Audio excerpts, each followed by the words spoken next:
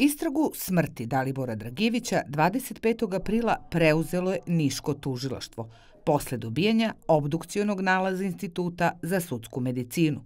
Četiri dana kasnije tužilaštvo od sektora unutrašnje kontrole MUPA zahteva da preduzme mere i radnje kako bi se utvrdile okolnosti pod kojima je Dragijević preminuo.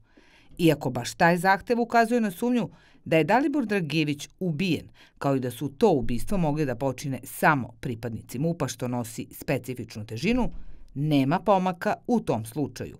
Ni potvrde da je reč o ubistvu, ni tima osumnjičenih za ubistvo. Niško tužilaštvo tvrdi za Insider da su od sektora unutrašnje kontrole MUPA do sada dobijali samo parcijalne izveštaje, ali da im još nije dostavljen konačni izveštaj, a sve bi moglo da se reši lako i brzo. Bar tako tvrdi onaj koji je po funkciji i najpozvaniji da priča o tome. To nije teško uh, utvrditi jer su tu postojale kamere. Prema tome, apsolutno je jednostavno da se u, u služba unutrašnje kontrole uh, će to sagledati i pogledati. Ja nisam, kažem još jednom, nisam tada bio ministar i nisam do detalja upoznat sa svim tim stvarima i sada i, i procesno ne mogu da se mešam u sve to zato što je to već u tužilaštvu, ali to je nešto što, e, to je nešto što će sigurno biti prioritet e, i u narednom periodu.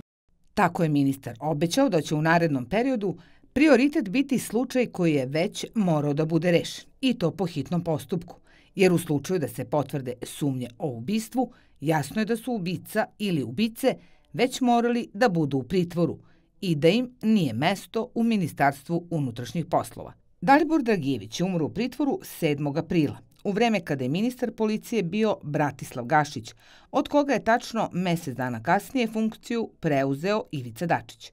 Od tada je prošlo mesec i po. Dovoljno da se očekuje odgovornost i novog ministra, posebno zbog toga što je rad sektora unutrašnje kontrole upravo pod njegovom ingerencijom. Umeđu vremenu je Zaječarsko tužilaštvo koje vodi istragu ubistva dvogodišnje Danke Ilić za petak zakazalo saslušanje trojice novih svedoka. Za taj zločin su osumnjičena dvojica radnika Borskog vodovoda koji su u pritvoru, ali ni u tom slučaju nema pomaka. Telo devojčice koja je nestala 26. marta u Banjskom polju kod Bora i dalje nije nađeno, niti su nađeni dokazi da je ubijena.